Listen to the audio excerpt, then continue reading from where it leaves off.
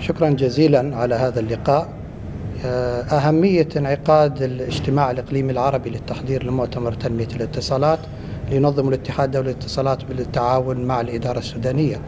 هي فرصة يتيحها الاتحاد لالتقاء كافة الدول العربية لمناقشة احتياجاتهم في فترة الدراسة القادمة لمؤتمر التنمية سواء فيما يتعلق بالقرارات الجديدة لمؤتمر التنمية أيضا الاتفاق على المبادرات العربية.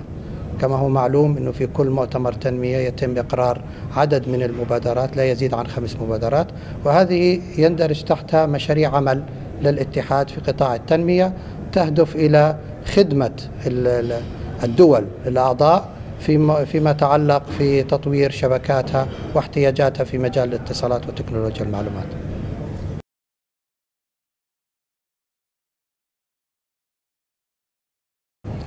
لا شك فيه أن الاتصالات وتكنولوجيا المعلومات أصبحت عامل هام ومؤثر في كافة التنمية مجالات التنمية عندما نتحدث عن تحقيق التنمية المستدامة آه، سواء في قطاعات التعليم أو الصحة أو في موضوع أيضا آه، توفير الحد الأدنى من خدمات الاتصالات.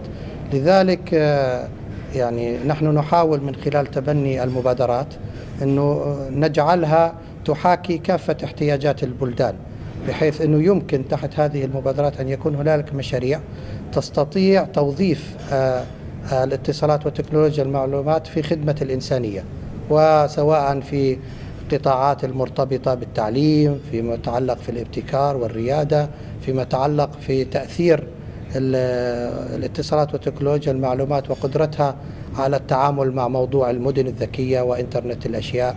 أيضا آه، في جانب مهم وهو قدرتنا على الاستشعار للظروف المناخية. ويعني كيفية أنه إحنا نطور شبكاتنا وأنظمتنا لجعلها قادرة على خدمة البشرية في مجال الاتصالات وتنميتها.